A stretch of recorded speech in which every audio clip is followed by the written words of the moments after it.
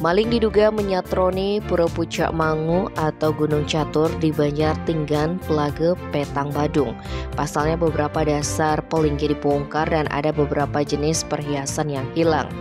Menurut informasi yang dihimpun koran ini diketahui kejadian itu bermula ketika Jero Mangku setempat melakukan persembahyangan ke pura di puncak setinggi 2096 MDPL tersebut pada Sabtu 1 April. Namun Jero Mangku melihat ada sekitar tujuh pelinggih yang bagian bawahnya dibongkar.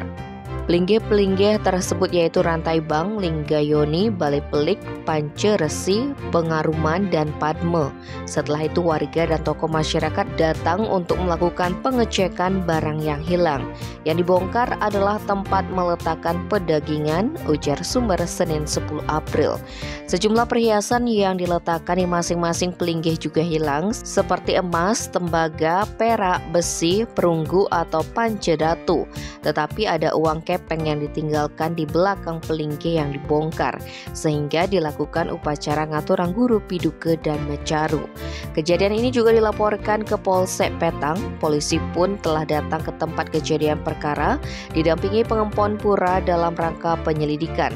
Belum diketahui jumlah pasti kerugian yang dialami pihak pura, Kasih Humas Polres Badung Ibtu Ketut Sudane yang dikonfirmasi belum bisa memberikan keterangan resmi terkait aksi pencurian di Pura Puncak Manggu.